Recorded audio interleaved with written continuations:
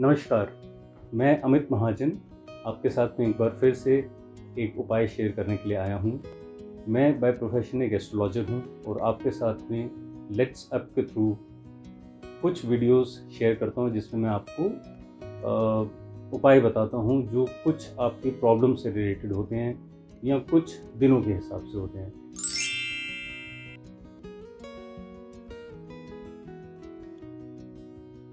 आज क्योंकि हम लोग अप्रोच कर रहे हैं शिवरात्रि को।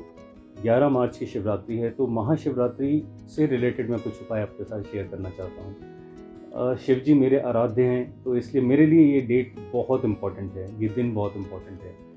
इस दिन भगवान शिव गृहस्थ आश्रम में प्रवेश करे थे। पार्वती माँ के साथ उनकी शादी हुई थी। तो this day is very auspicious day and इस दिन जो हम उपाय करेंगे वो हमारे मैरिड लाइफ को सुखी बनाने के लिए है। हमारे घर में सुख समृद्धि बनी रहे उसके लिए है। उपाय दो हैं जो आज आ, मैं आपको बताने जा रहा हूँ। दोनों उपाय करिएगा। पहला उपाय कि आप सुबह बिलपत्र ले आएँ ग्यारह। उन बिलपत्र पे सफ़ेद चंदन से ओम नमः शिवाय लिखें। हर एक बिलपत्र पे बिलपत्र की तीन लीव्स होती हैं। ओम नमः शिवाय, आप तीनों एक एक पे सफ़ेद चंदन से, उंगली से आप उस पर लिख सकते हैं। और इन्हें आप सुखा लीजिए। जब ये बिलपत्र आपके पास में रेडी हो जाएँ तो घर से कच्ची लस्सी बना के ले जाएँ। कच्ची लस्सी जो होती है, वो एक लोटा जल, उसके अंदर दो या तीन चम्मच सिर्फ़ आपने दूध डालना है। पूरा दूध नहीं डालना, सिर्फ़ दो या तीन चम्मच दूध डालना है उसमें। और साथ में आपको तिल ले जाने हैं और जौ ले जाने हैं, काले तिल और जौ।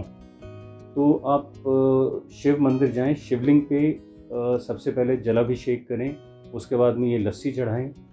लस्सी चढ़ाने के बाद में आप काला तिल और जौ, ये शिव जी पे चढ़ाएँ और फिर एक एक करके ये ग्यारह बिलपत्र शिव जी पे चढ़ाइएगा। इससे शिव जी बहुत खुश होंगे और अगर आप ये दो उपाय, जलाभिषेक और साथ में बिलपत्र ये दो काम आप करते हैं तो आपकी मैरिड लाइफ आपकी गृहस्थी बहुत सुखी रहेगी। सो प्लीज़ इन उपायों को करिए और इस दिन जो भगवान शिव की असीम कृपा आपको मिल सकती है, वो लीजिए। This is a very auspicious day please do these उपायज and share करिएगा कि आपके मैरिड लाइफ में या आपके घर में इन उपायों को करने से क्या बेनिफिट्स आते हैं। Thank you so much and keep watching